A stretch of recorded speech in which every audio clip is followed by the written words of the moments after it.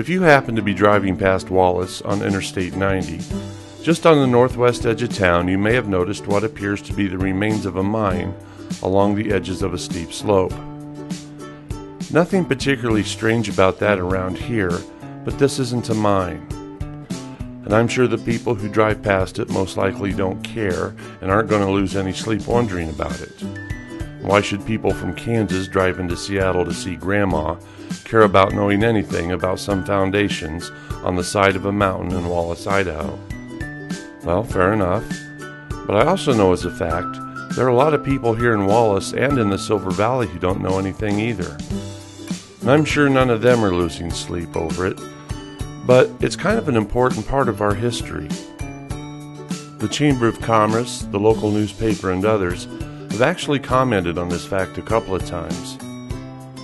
A few years back, the Mining Heritage Foundation decided to place a small information board about the location in the rest area just on the other side of the interstate. It's a good idea, but the rise of the interstate blocks the view of what the sign's talking about. And also, the sign's not even facing the ruins.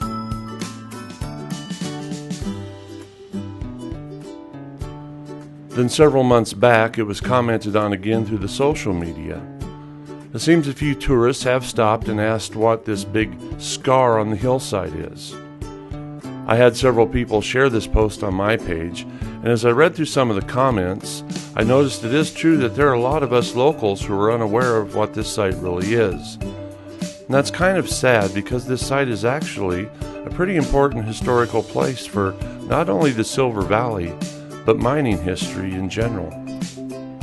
Though most assume it's just the ruins of a mine, this is actually not a mine at all, but rather a mill. And once again, there's nothing special about that.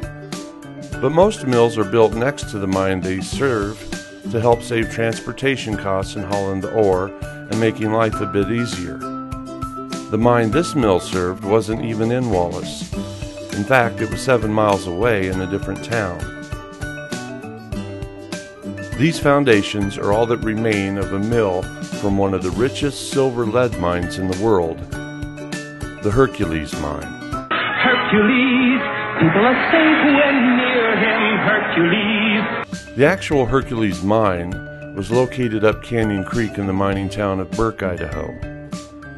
The mine was originally discovered in 1889 by Harry Day and Fred Harper, who were following the trail on Gorge Gulch above Burke not long after a forest fire, and the fire had exposed an outcropping that caught their attention. The Hercules soon had several investors a local dairy farmer named August Paulson, a railroad engineer, Levi Hutton, and his wife, May. She was a cook at the Wallace Hotel. And there were several others that included H.F. Samuels, a lawyer, and another owner who became infamous later, Harry Orchard. Orchard was later convicted for assassinating former Idaho State Governor Frank Steunenberg. At the trial, Orchard was defended by the famous defense lawyer Clarence Darrow. Orchards blamed the governor for causing him to lose his 116th share in the Hercules by declaring martial law during the mining wars of the 1890s. It was during these mining wars of the 1890s that one of the Hercules owners, Levi Hutton, had his train hijacked by Union miners and was forced at gunpoint to take them to Kellogg. The train was also carrying a load of explosives. Fearing for his life and unable to reason with the Union miners, Hutton had to drive his train to Kellogg using another rail line's tracks. Luckily, no other trains were using those rails, and once at Kellogg, the Union miners got off the train with their explosives and made their way to the newly built Bunker Hill concentrating plant and proceeded to blow it up. And even though he was forced to participate at gunpoint, Levi Hutton was arrested and placed in one of the bullpens, a makeshift prison that many historians believe was actually the first use of what would become known later as a concentration camp. His wife May championed her husband's release and even wrote about the horrible treatment the Union miners had to endure.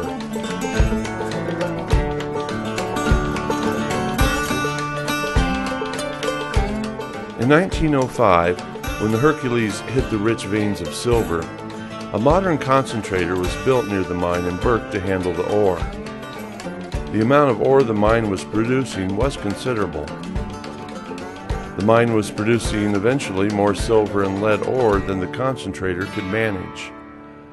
And not only that, but the technology and methods of getting the minerals out of the ore had been changing over the years. The new ways allowed more of the precious and base metals to be extracted from the ore, and this, of course, increased profits. Then on Labor Day in 1909, Burke was packed with Union miners. Burke was an extremely cramped area to begin with, and Union miners and their families from the surrounding towns along the canyon made it even more so. To Union men, Labor Day was just as important a holiday as the 4th of July. Towns throughout the Silver Valley, and in fact mining towns throughout the United States, celebrated Labor Day much like the 4th of July. There were parades, speeches, contests and games, and of course, food. During the celebrations, the Hercules mill mysteriously caught on fire. To this day, no one knows for sure how the fire started. It's very possible that the fire was accidental. But of course, the first finger of blame was pointed directly at the Union miners. It did seem the most likely reason. Union miners had shown their willingness in the past to destroy property, but still others believed it was really the mine owners who set fire to their own mill. The Hercules mine now had no way to concentrate their ore. Trying to keep the mine running, the Days had the mine stockpile their ore for a while. Then they were able to make use of the Tiger Poorman concentrator that was located next to the Hercules Tunnel number 5 at the intersection of Gorge Gulch and Canyon Creek in Burke. But the Tiger Poorman was way too small to handle the amount of ore that the Hercules mine was producing. And plus, it was still using old technology and outdated methods. Burke and the surrounding area was just too narrow for them to build a mill that would be large enough to meet the Hercules mine's needs. The Hercules was able to negotiate for land in Wallace, near what was then the Northern Pacific Railroad yard. Located on the western outskirts of town, the NPR rail yard sat right next to the Oregon Rail and Navigation Company's rail yard. The Hercules now was able to build a large, state of the art concentrator. They also were able to negotiate with the NPR to haul their ore from Burke to the mill in Wallace at a great rate with the promise that they would use the Northern Pacific to haul their concentrates out of Wallace to the smelters as long as they gave them a better deal than the OR&N. The ore cars were pushed up a switchback incline to the top, and some of that incline can still be seen on the east side, along with the cut that a large wooden flume once occupied. The flume carried water from Nine Mile Canyon, and the flume itself was an impressive structure. Of course, massive amounts of water were essential in milling to create the slurry. Built in 1911, the Hercules Mill in Wallace stood 87 feet above the rail cars below. It was built to handle up to 600 tons of ore per day, and at its peak it ran 24 hours a day and employed 65 men. By 1925, the technology and methods for getting the most silver, lead, and zinc out of a ton of ore had once again changed. So in 1925, the Hercules mill was refitted to be more modern. But the Hercules mine itself began to run out of quality ore. By August of that year, it was no longer profitable to operate the mine. The Hercules and Burke shut down for good. This would normally be the end for the mill, too. However, the Days were also owners and investors in other successful mines in the area. So the Hercules now operated under the Sullivan Mining Company and processed ore for several regional mines and even did custom milling until 1937. After a brief closure, The mill continued as a custom milling plant until it closed its doors for good in the 1940s.